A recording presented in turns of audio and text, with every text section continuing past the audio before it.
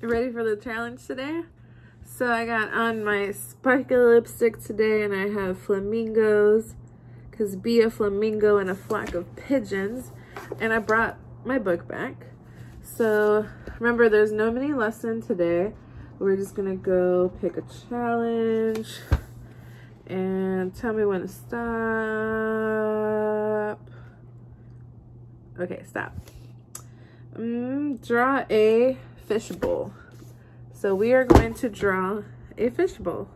I'm really in a painting mood, so I'm going to paint my fishbowl. And I'm going to start with the bottom of the fishbowl.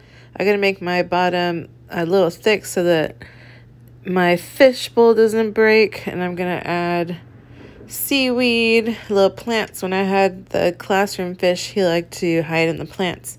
So I have two fish friends together, adding lots of values since that was our lessons this week. Adding values in my little plants and the fish. And now I'm going to add my water and value in my water too.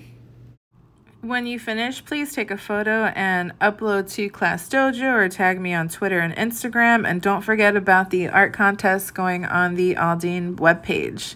Happy art making!